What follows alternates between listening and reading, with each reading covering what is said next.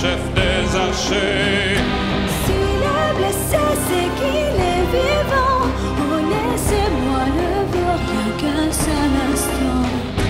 Vous l'avez séduit et ensorcelé.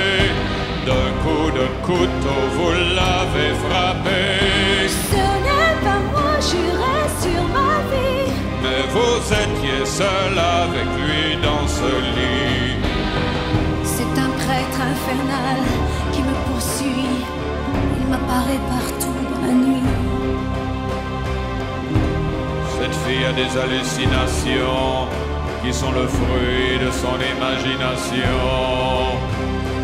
Il vous ressemble un peu, monsieur. Regardez le feu qu'elle a dans les yeux. C'est une sorcière, c'est une une païenne. Avouez-vous ce crime dont vous êtes accusé. Moi, je suis la victime. Je n'ai rien à avouer.